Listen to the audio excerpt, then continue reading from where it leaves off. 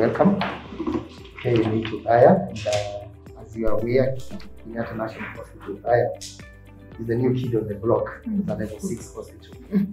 Just to try to answer why it is a, a level 6 hospital is because it is supposed to basically to function as an annex of the National Hospital. And all the services which are offered, and the vision is all the services which are offered in the National Hospital will ultimately be offered at the National Hospital. And uh, we have made great strides into this, and uh, we have been able to functionalize quite a number of specialized clinics so that we can be able to offer specialist care. And uh, just to give a brief snapshot of the National Hospital, there, it's a 350 bed capacity, and its construction goes back way back during President Kibaki's uh, tenure as the president. It took almost 10 years to complete it. Then it was, uh, once it was completed, it was handed over to, it was being built as an extension or as, as an expansion of the yeah, Othaya Level 4 Hospital. But I think uh, the county government then uh, thought it wise that uh, they didn't have the capacity to run the Level 5 or the Nyeri provincial uh, referral hospital and also another hospital at the same level.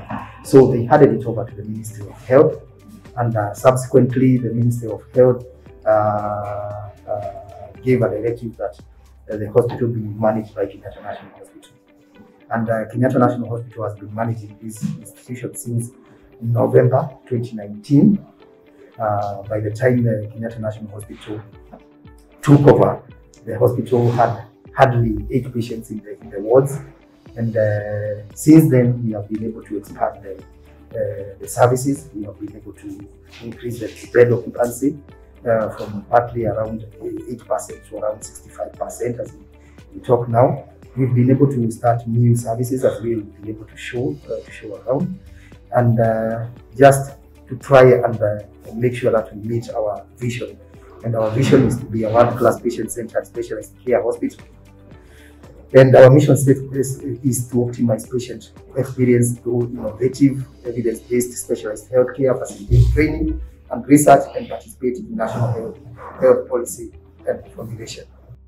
Uh, we are now fully functional. Uh, of course, we, we share the same compound with the, with the level 4 uh, Hospital, uh, and uh, we have been allocated around 7.9 acres of the, the land patients coming from Isiolo, patients coming from Marsabit, patients coming from Meru, patients coming from Nyandarua, patients coming from Laikipia, patients coming from uh, Meru.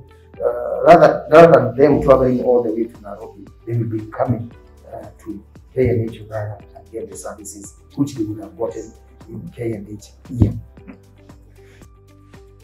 We have a team of specialized clinical and surgical services such as uh, oncology, obstetrics and gynecology, the neurosurgery, the general surgery, the cardiology, urology.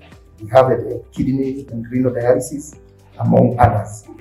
We also have rehabilitative services, eh, which we have specialized rehabilitative services which we have started, uh, occupational therapy, uh, physiotherapy, and also we have the supporting uh, services which, which support the services in the urology department and also in the laboratory in terms of diagnostics. Over the time, the number of patients have increased. Uh, this has been attributed to the, to the number of outreaches which we have, we have carried out in the region. As you can see, in, in the year 2019, we had 2019-2020, we had an average of about 1,458 in. This has almost uh, uh, uh, risen four times to 4,653. And uh, the statistics, we can provide all of them. The same case in the number of outpatient patients who have been coming, the number has almost doubled within that within that one year, and also the, the number of uh, of uh, specialist services, specialized clinic uh, services, uh, the people who have been coming to seek for the specialist services. Again, the number has has dramatically increased almost uh, three times. Then telling you that there is a a demand for these specialized services in the region where we are serving. So, in, in brief, the impact of the KNH Othaya is that it has brought in access to specialized health healthcare services to the, the Mwananchi where they are. We have enhanced the provision of quality quality emergency health care services in the point of need. We have, we have increased the screening, early detection, and timely referrals of patients with non-communicable diseases through outreaches and medical hubs. And I think that is that's one, one area whereby we have really done quite a lot. So that when you go out there and you are providing services, uh, kind of free services, you kind of screen and, and, and, and enhance the detection of, of the patients who require to be served in the, in the hospital so that they can access the services early enough before they get the complications. So we have been providing training, internship and attachment and apprenticeship for students. Uh, we have we have quite a number of uh, universities whom, whom we have been co- co- uh, coordinating with and uh, providing the attachment service facilities for them. And uh, uh, I think, as it has been said in the, in the social pillar, we have also had an impact to the local community. You know, as of now, the staff establishment of the International Hospital there is close to 500. And all these people, they reside and stay around the Othaya. So the kind of uh, impact this has, has had economically to the, to the community is, is quite a lot. Uh, people require accommodation, people require food, people require other services. So in the, in a nutshell, it has also contributed to the, to the economic growth of, of, of this region. When, when we took when we took over the facility, we identified some of the some of the areas where, which we needed to work on very fast so that we can be able to bring the, the, the services to, to, the standards which are required for level 6.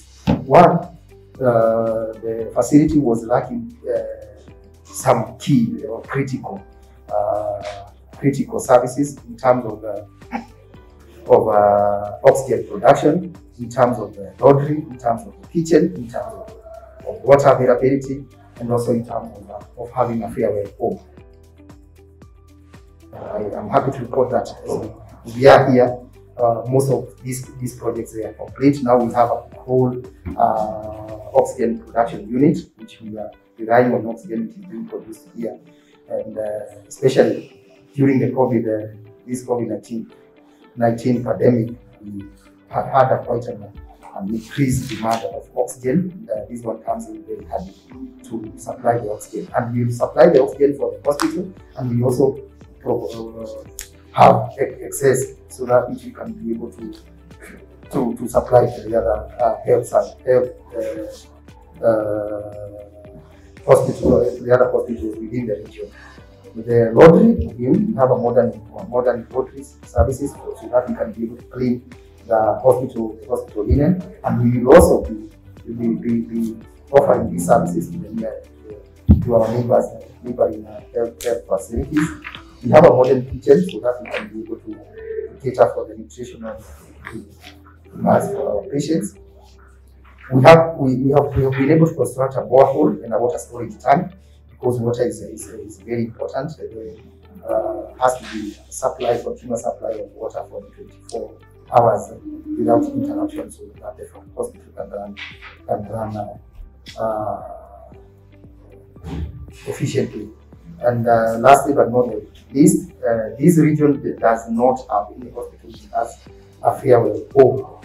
And uh, this will come, up, will come in, uh, in terms of uh, serving the, the, the community uh, in, the, in the region, uh, the provision of, uh, of uh, special, not only the, the, the services, but also special services like like uh, like the postmortems and all, and all that. Now we uh, able to offer that. Uh, as a as a hospital, we we understand that it's a journey and uh, takes time.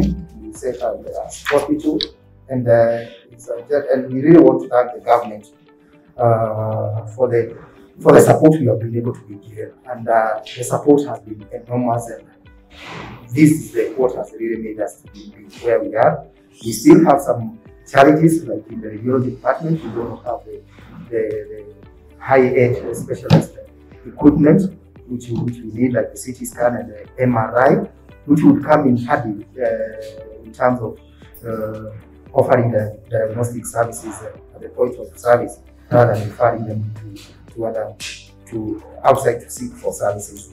Uh, we still have some challenges in terms of of, uh, of, of, having the adequate number of the specialist uh, uh, human, resource, human resource for health and uh, thank the government because this uh, this journey we have been working together over the time we have been able to get to get quite a number of uh, specialist consultants and who have been offering the services over here. But we do believe that uh, if we follow the trajectory we are following, then uh, we are we, we, we, we, are establishing this as a level six hospital in this region.